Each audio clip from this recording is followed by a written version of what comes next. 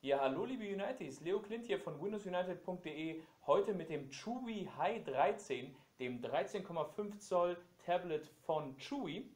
Äh, viele von euch haben darauf gewartet, ich gucke mir das Ganze mal an mit euch, ich hoffe ihr habt Spaß dabei.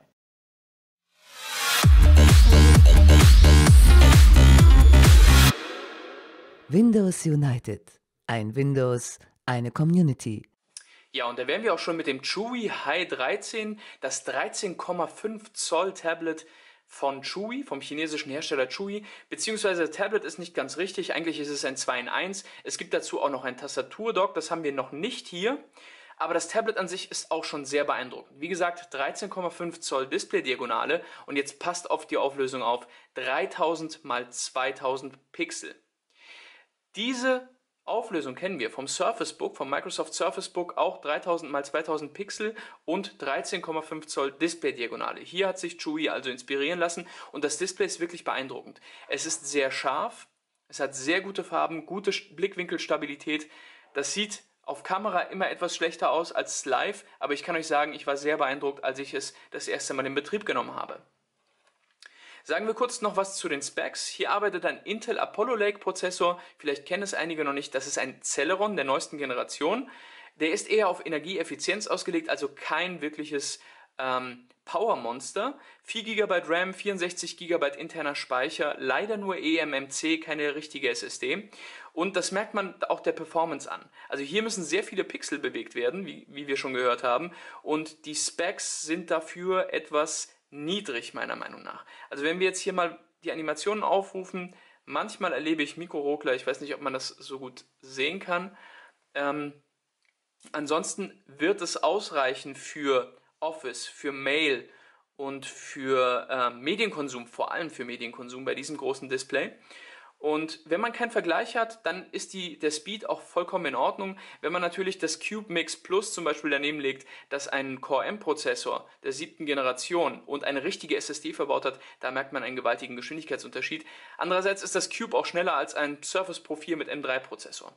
Also hier hat man für circa 320 Euro, das kostet das Tablet momentan, ähm, eine relativ gute Performance für Office-Aufgaben und für Medienkonsum. Ähm, allerdings, wenn man einen Vergleich hat, dann merkt man schon, dass hier etwas an den Specs gespart wurde, beziehungsweise dass man auf die Akkulaufzeit geachtet hat. Die ist ungefähr sieben bis acht Stunden. Das ist vollkommen in Ordnung für das Gerät. Und ähm, ich finde es auch ich finde es auch richtig, dass man hier bei so einem Budgetgerät eher auf, auf die Energieeffizienz geachtet hat. Ähm, ansonsten zur Bildqualität, zur Verarbeitungsqualität kann man sagen, sehr gut. Ähm, wir haben hier ein mattes Metall. Ich weiß nicht, ob es Aluminium ist. Mattes Metall auf jeden Fall. Fühlt sich sehr schön an. Ich finde, es sieht etwas aus wie ein Huawei in dieser Farbe ungefähr von hinten. Ähm, oben haben wir einen Lautstärkeregler und hier den An-Aus-Knopf. Diese Seite ist außer der Lautsprecher äh, leer. Die Lautsprecher sind sehr gut für ein Tablet. Hier unten haben wir den proprietären Anschluss für die Tastatur. Und auf der anderen Seite haben wir noch MicroSD bis 128 GB offiziell. Ich denke, es gehen auch 200 oder 256. Wir haben hier USB-C, wird auch übrigens über den USB-C-Port geladen. Wir haben hier ein Micro-USB, ein Mini-USB und ein Kopfhörereingang. Hier ist das Mikrofon.